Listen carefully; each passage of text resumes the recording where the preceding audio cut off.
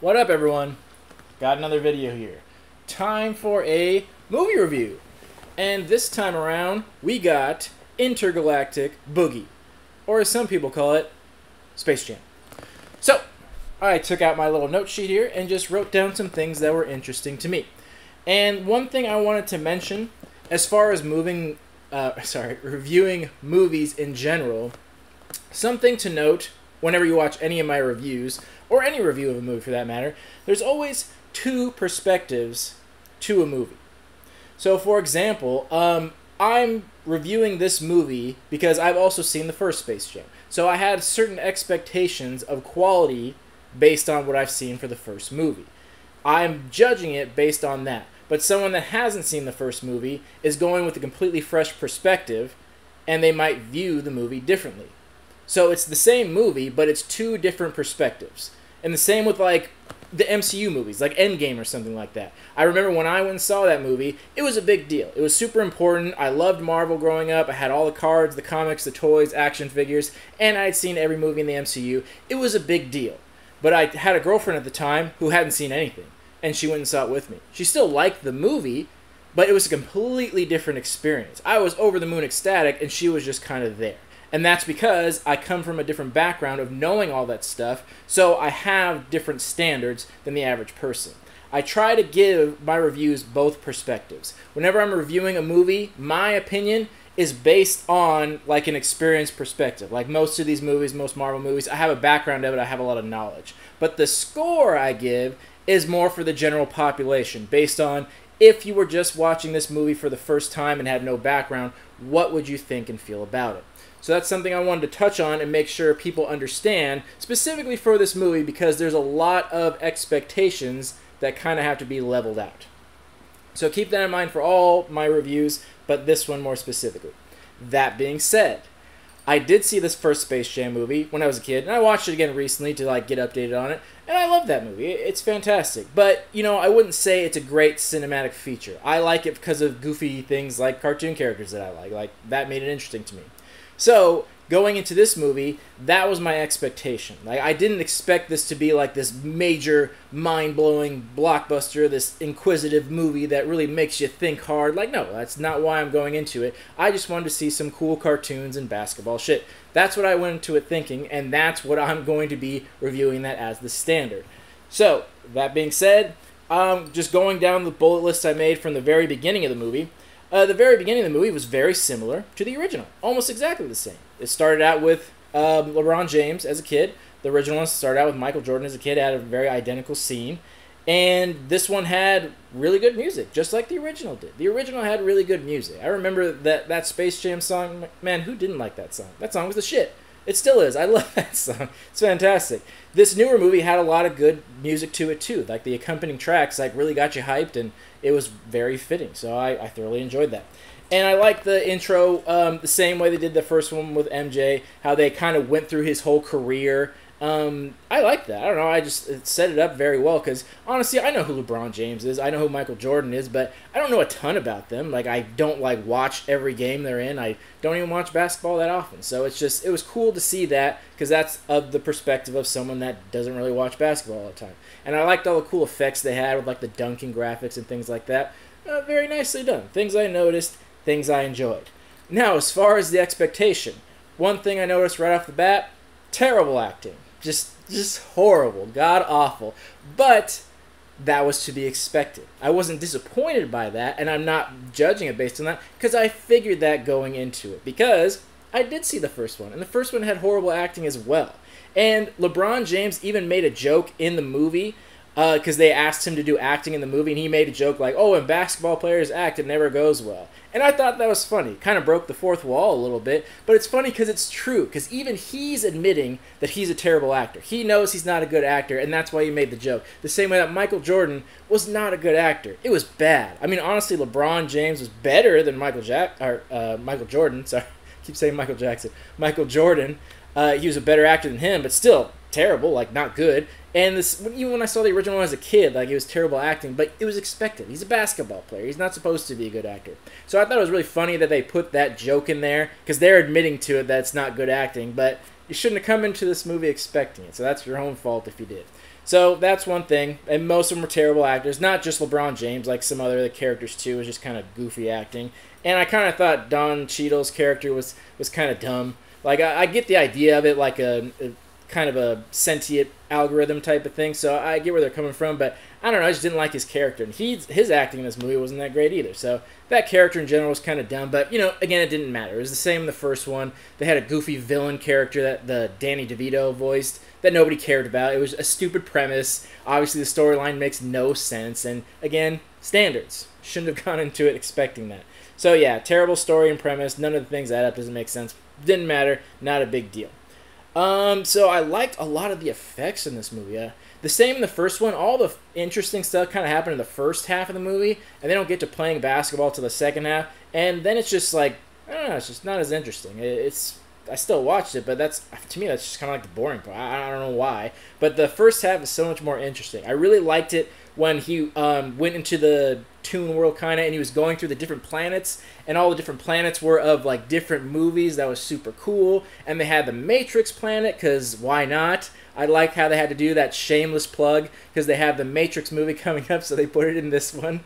So I, I thought that was funny. I thought that was funny. They put a Matrix planet in there, and that was really cool to just see all the different franchises. I, I really like that, and I think that was a smart move for them.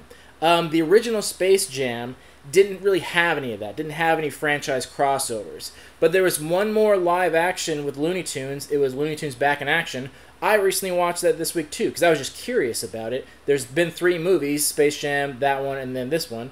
So those have been the live action Looney Tune ones. So I watched it, just curiosity, and they did some crossovers, and it's like, oh, that was really funny and entertaining. That movie was actually pretty decent, by the way. I, I liked it as about as much as I like Space Jam. So I thought that was pretty good.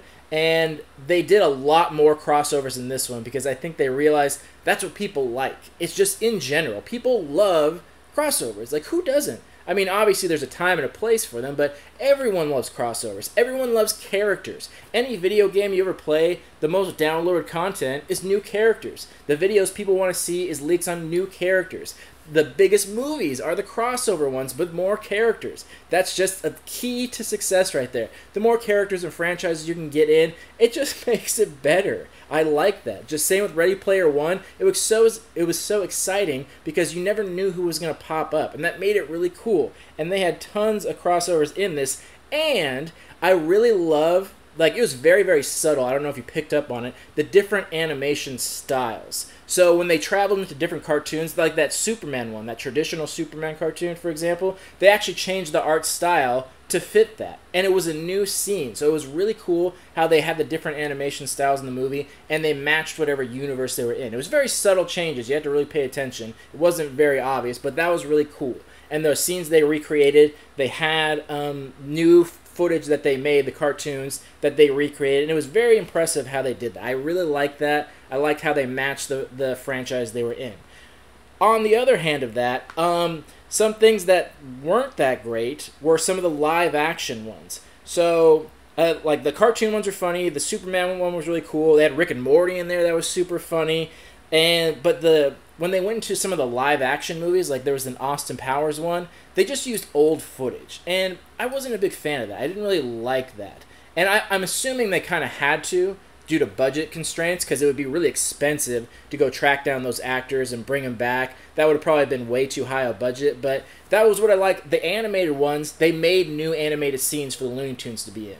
But the live action ones, they literally just cut and pasted scenes from the actual movie. You can tell because the quality was lower and the picture was kind of grainy, and then just inserted Looney Tunes in there. I didn't like that as much. I liked the, the reference they were going for, but since they used the old footage, it just made it seem like a really old outdated joke. Like when they were it, when the granny was in the Matrix, like I get the joke they were going for, but it just seems super outdated because the quality looked terrible. I wish they had done like the cartoons and made new scenes for them to be in. I think it would have been that much better. Even if they couldn't have gotten the original actors to come back and reprise their roles, which was probably the reason, they still should have recreated the scenes just with like stunt doubles or something that looked like it. I think that would have been that much better if they recreated it and had it HD and I think that would have made a world of difference and I think that would have carried the joke more. So I got what they were going for, and I'm glad they had the franchises in there. It was still cool, but it just killed it because it was old scenes. But the cartoon ones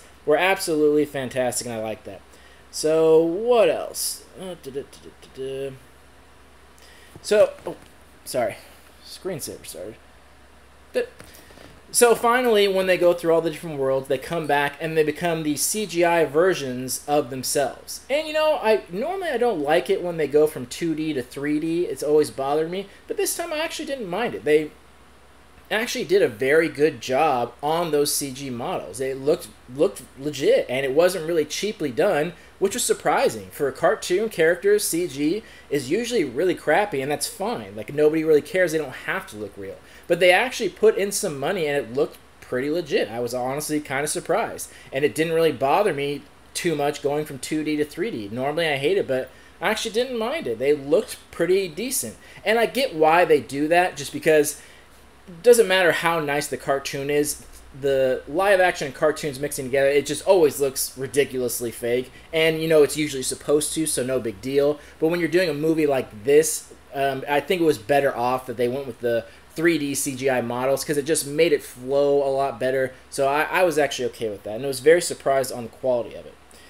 And then as far as the second half of the movie, like I didn't care about the basketball game. I was focused on the background. There was so much shit in the background. It was amazing. It was like when I saw Ready Player One and they had that big fight scene, and I wanted to keep pausing it like every two seconds and going back. And I'm like, oh my gosh, wait, did I just see that? Who was that? Like so many little characters in the background that was so amazing. But I couldn't do that because I don't know if you guys have this problem. My HBO app sucks. So I don't know if it's because I'm using a PS4, maybe it's just not compatible. If you have a PS4 in the comments and you run HBO Max, let me know if you have the same problem. Mine just just doesn't work. It's so unresponsive. Every time I tried to rewind, it would just like freeze or it would take too long to press it. So that app sucks. Anyway, back to it. Uh, there were so many characters in the background, and every two seconds I was not focusing on the game they were playing and looking what characters I could find. One that I thought was so cool is that they had the Danny DeVito penguin in there, which is funny because Danny DeVito played a character in Space Jam, and they also had the like 1950s TV show Penguin like side by side. So not only did they have the Crossing franchises, they had like the different multiverse versions of these characters, and I thought that was so cool. And I'd much rather look in the background and pick out all these cool things than watch the basketball game they were playing. But I thought that was really amazing. and I'm sure that took an astronomical amount of time. One, just picking the characters and setting a lineup, and then creating 3D models of every single one. Because when they were in the crowd, like, you know, when they have stadiums and movies, it's usually just like blurred black figures. But no, they had actual little people, actual little characters from all these movies, many of which didn't have lines or stand out, but they were there. And I, I'm going to go watch it again and keep picking out new ones. There were so many cool things back there. So I thought that was really cool. And I think that's a smart move of them, once again, to get all these franchises in there. It just makes it so much more fun and interesting. I love that. Um, at the end of the movie, Don Cheadle did, uh, did like that transformation, and he became all CGI. Why? I don't know. Why they had to CGI his whole face, I'm not totally sure.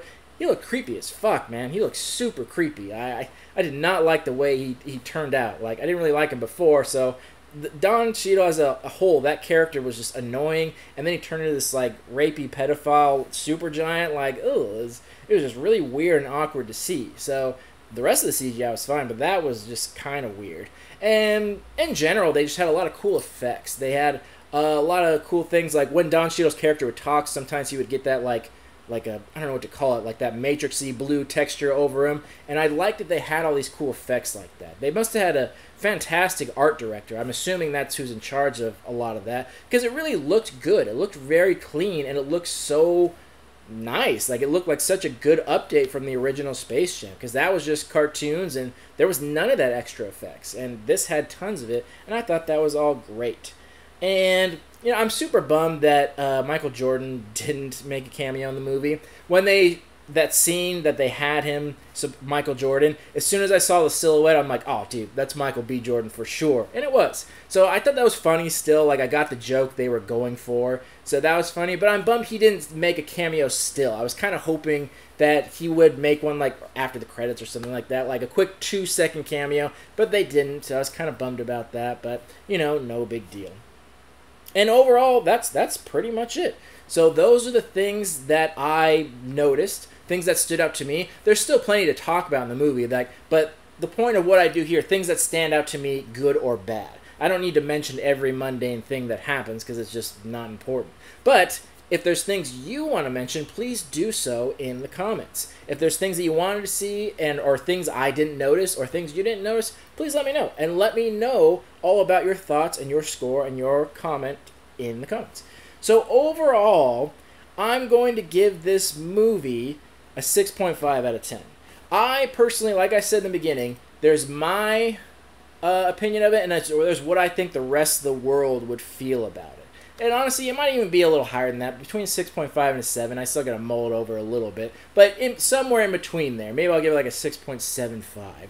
Around that score. And that's because I really liked it. I, I thoroughly enjoyed it. But I don't think the average person, like for example, one if they hadn't seen the first Space Jam, or for example if they just weren't into movies that much and they didn't recognize a lot of those franchi- franchises in there and they didn't get a lot of the jokes they made, then they might not enjoy it as much. So I got to give it a rating based on what the general population would think, and I think that's between a 6.5 and a 7 out of 10 because it was still good. If you didn't know any of that stuff, it still would have been entertaining, but it's obviously it's it's not an amazing thing. Like I said, the acting was goofy. There's a lot of weird stuff in there, so the average person might not like that. But people that have seen the first one, we know what to expect. We know that acting wasn't supposed to be good, and yeah, we assume LeBron James was an amazing actor. We just go to see because we like those cartoons.